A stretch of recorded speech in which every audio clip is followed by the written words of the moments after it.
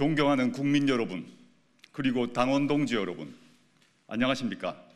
조국 혁신당 당원이자 여러분들의 동지 조국입니다. 저는 조국 혁신당 그리고 대한민국의 과거와 현재, 미래를 말하기 위해 이 자리에 섰습니다. 이제부터 폭풍우를 헤치고 나아가는 당당한 함대를 출항시키려고 합니다.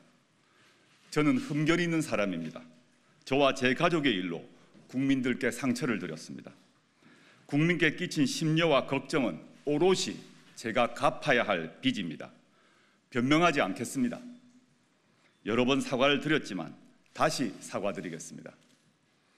문재인 정부 청와대의 검찰개혁 책임자로 정치 검사들의 준동을 막지 못했습니다. 망나니 검찰 독재 정권 탄생을 저지하지 못했습니다. 그 과거에 대해서는 더욱 뼈아프게 국민 여러분께 머리 숙여 사과드립니다.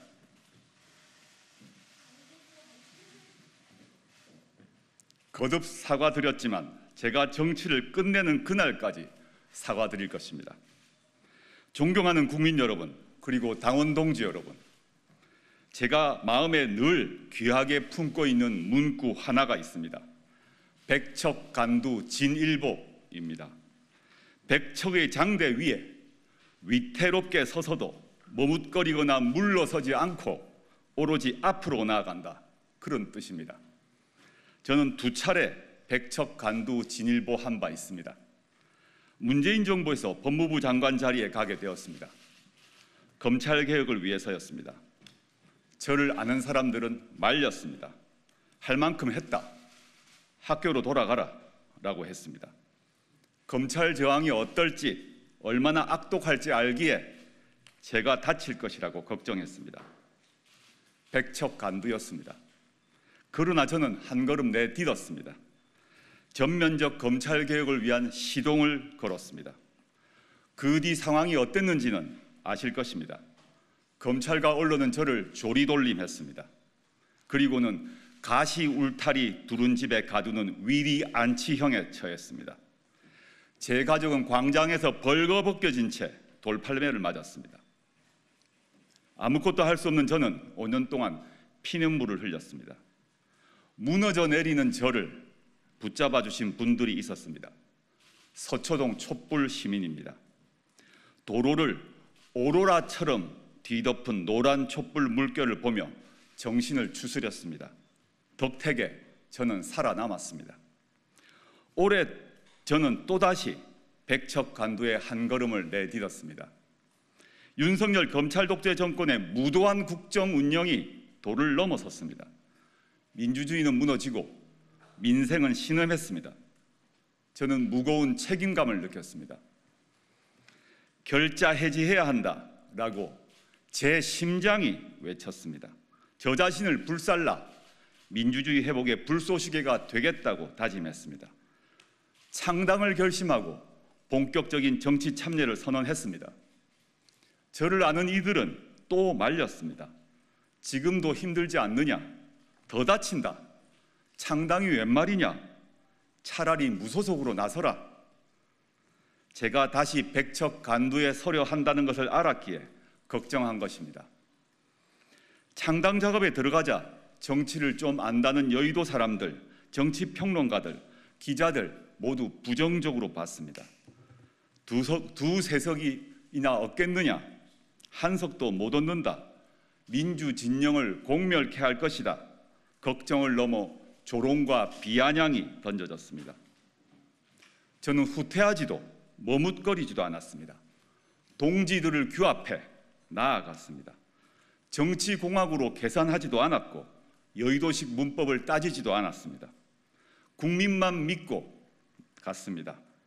국민은 또다시 뛰어내리는 저를 받아주셨습니다. 690만 애국 시민들이 저와 당원 동지들을 지지해 주셨습니다.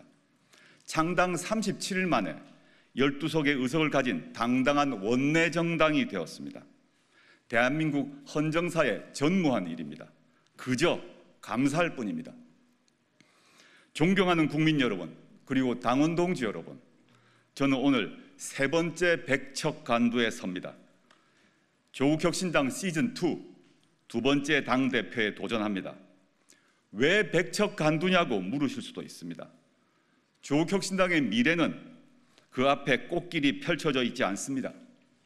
콩고물도 권력의 부스러기도 떨어져 있지 않습니다. 오히려 가시밭길, 고난의 길입니다. 정해지지 않은 미래로 가는 흰 거품이 있는 태풍 속 항로입니다.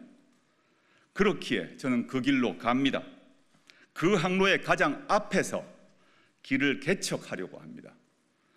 뱃머리에 거센 파도를, 파도를 뒤집어 쓰며 길을 찾는 일을 자임하고자 합니다. 존경하는 국민 여러분, 당원 동지 여러분, 과연, 과연 정치란 무엇인가 생각해 봅니다. 저는 국민 옆에 서는 게 정치가 아닌가 생각합니다. 앞뒤도 아니고 위아래도 아닌 곁을 지키는 것입니다. 국민 위에 서서 지시하고 명령하고 군림하는 게 아니라 국민 곁에서 국민의 명령을 따르고 국민의 눈물을 닦아주는 일 말입니다. 국민을 차가운 시장 논리에 맡기는 것은 정치가 아닙니다. 엄마 아빠처럼 챙겨주고 아들과 딸, 손자, 손녀가 돼 복량하고 모시는 것입니다. 대한민국 국민은 정말 성실하게 살아갑니다. 경제협력개발기구, 즉 OECD 국가 중 노동시간이 가장 긴 축에 듭니다. 그런데 우리는 국가로부터 그에 걸맞는 대접을 받고 있습니까? 내 삶, 내 부모의 삶, 그리고 내 자식의 삶은 힘들고 불안합니다. 이제 국민은 최저 생계를 넘어 더 인간다운 삶을 살게 해달라고 국가에게 요구할 권리가 있습니다. 그 요구에 답하는 것, 그게 바로 정치입니다. 국민의 입을 틀어막을 게 아니라 국민 목소리에 귀 기울여야 합니다. 국민 공감에서 출발해 국민의 복리 증진으로 마무리돼야 합니다. 그런 정치를 하려고 오늘 저는 이 자리에 섰습니다. 조국혁신당이 원내 진입에 성공한 강소정당을 넘어 진정한 대중정당으로 가는 길을 개척하고자 다시 이 자리에 섰습니다. 창당과 선거 승리를 이끈 결기와 열정으로 전국 각계각층의 국권이 뿌리내린 대중정당을 만들기 위해 이 자리에 섰습니다. 제가 꿈꾸는 조국혁신당을 말씀드리겠습니다. 이기는 정당, 이끄는 정당, 이루는 정당입니다. 첫째, 조국혁신당은 이기는 정당이 될 것입니다. 우리는 선거에서 이길 것입니다. 우리는 그리고 저는 경험이 있습니다. 이 당의 대표로 나서 선거에서 이겼습니다. 한두 석이냐 없겠냐는 조롱 기억나시는지요? 그러나 우리는 보란 듯이 12석을 얻었습니다. 누가 이끌었습니까? 저 조국 아닙니까? 승리의 경험은 억만금을 주고도 살 수 없습니다. 우리는 우리 스스로 그 경험을 했습니다. 우리는 앞으로도 이길 것입니다. 우리 당에 대해 보조적 역할만 해라. 앞으로도 비례대표만 내라. 이렇게 조언하는 분들도 계십니다. 그러나 조국혁신당은 위성정당이 아닙니다. 보조제 정당도 아닙니다. 조국이 이끄는 조국혁신당은 조국혁신과 정치혁신을 위해 우리 자신이 세운 원칙에 따라 선거에 후보 낼 곳은 내고 내지 않을 곳은 내지 않을 것입니다. 둘째, 이끄는 정당이 될 것입니다. 지난 총선에서 꺼져가던 윤석열 정권 심판론을 되살린 사람이 누구입니까? 감히 자부하건대 바로 접니다. 그리고 우리 조국 혁신당입니다.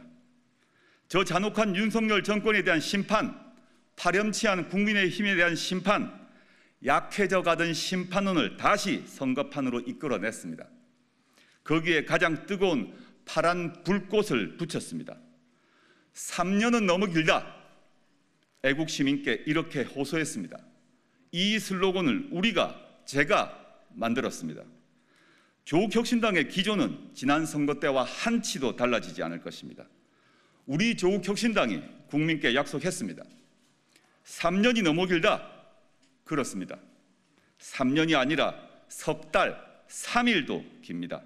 오죽했으면 국민 국회의 국민동의 청원에 오른 윤석열 대통령 탄핵 청원에 100만 명이 넘는 국민이 동의를 했겠습니까?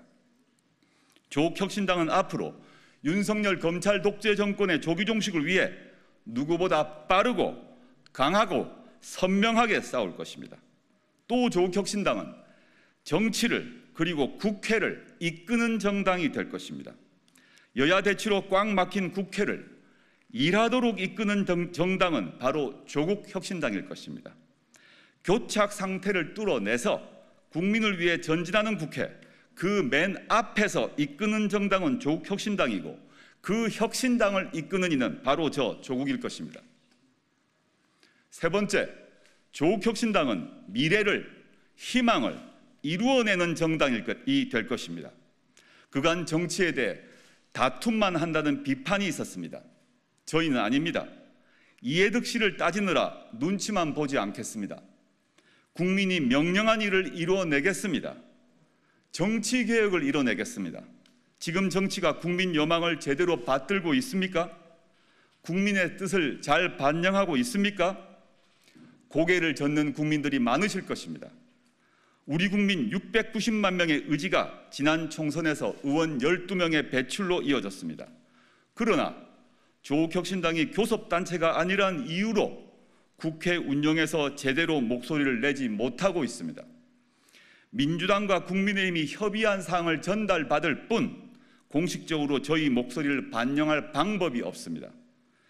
현행 국회법은 정당하지 않습니다. 대한민국 유권자 중 690만 명의 목소리가 거의 반영되지 못하기 때문입니다. 그렇다면 개선되어야 마땅합니다. 제가 당대표가 된다면 국회의장, 민주당, 국민의힘 대표께 요구할 것입니다. 국민의 목소리가 제대로 반영되도록 국회를 운영하라. 제 꿈은 여기에 그치지 않습니다. 일찍이 말씀드린 것처럼 대한민국 호를 제7공화국 사회권 선진국으로 이끌겠습니다.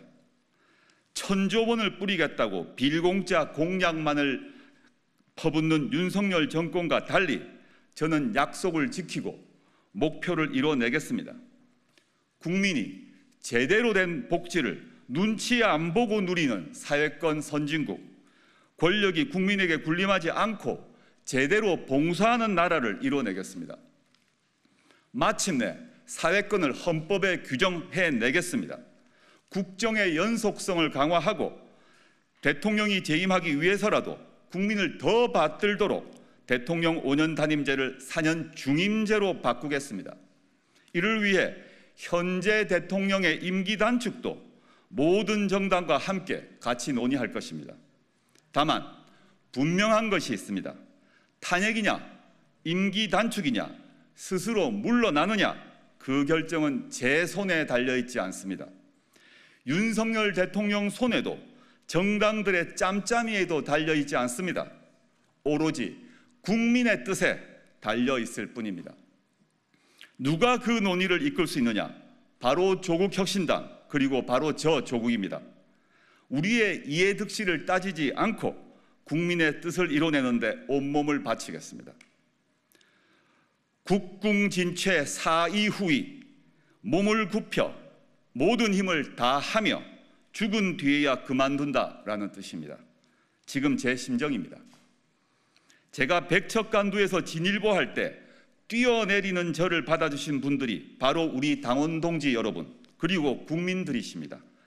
제가 몸을 굽힐 분들은 권력자도 부자도 아닌 우리 당원 동지 그리고 국민들입니다.